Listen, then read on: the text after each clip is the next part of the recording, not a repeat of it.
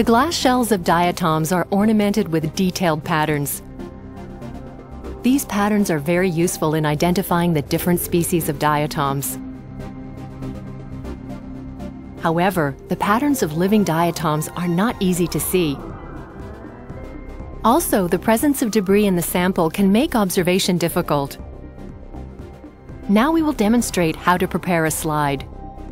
This process will allow us to easily observe the patterns on the glass shells of diatoms.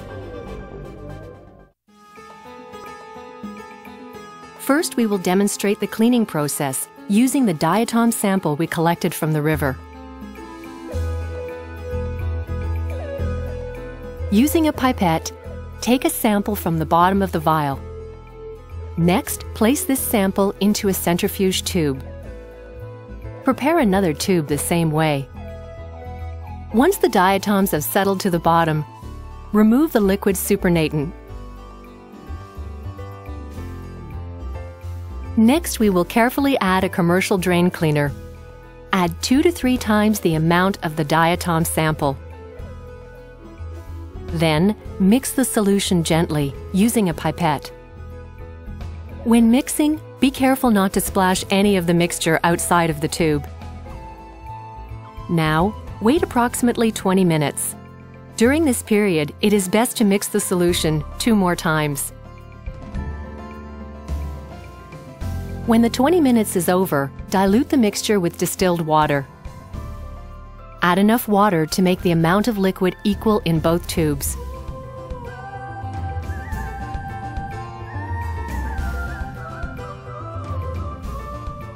Next, place the tubes in a centrifuge. Here the diatoms are precipitated from the mixture. Both motorized and manual centrifuges are appropriate to use. After centrifugation, pour out the liquid. Even if the tubes are turned completely over, the diatoms will remain because they adhere to the tube.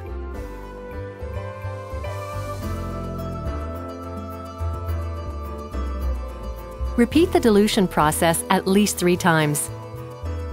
This process is necessary for removing the drain cleaner.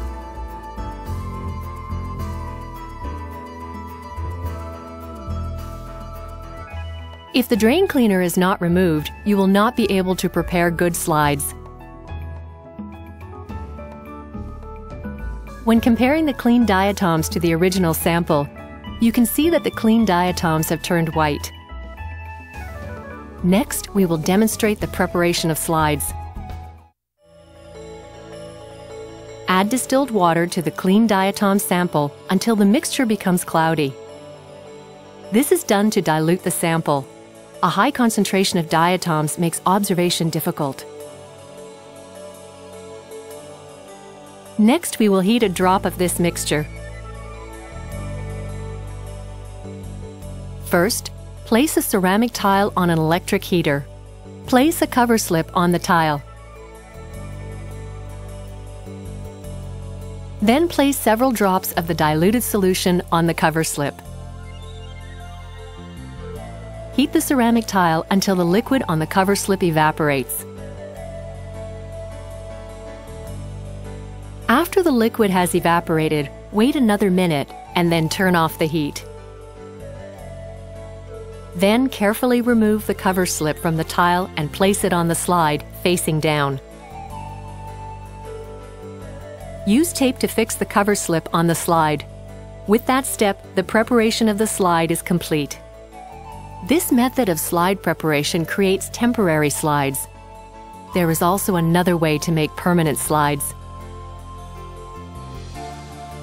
First, place about one drop of Pleurax on a slide. Pleurax is a mount medium.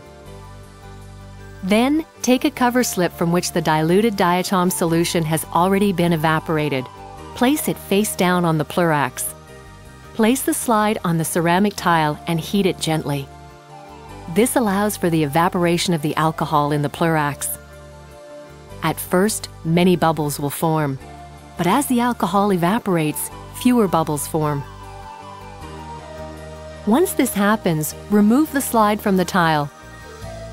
use a tool to gently press the cover slip down on the slide and remove any air bubbles.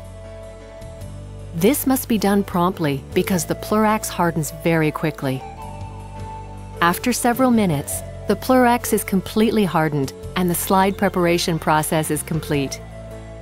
Detailed observation of diatoms is possible with either method of slide preparation, although permanent slides are better.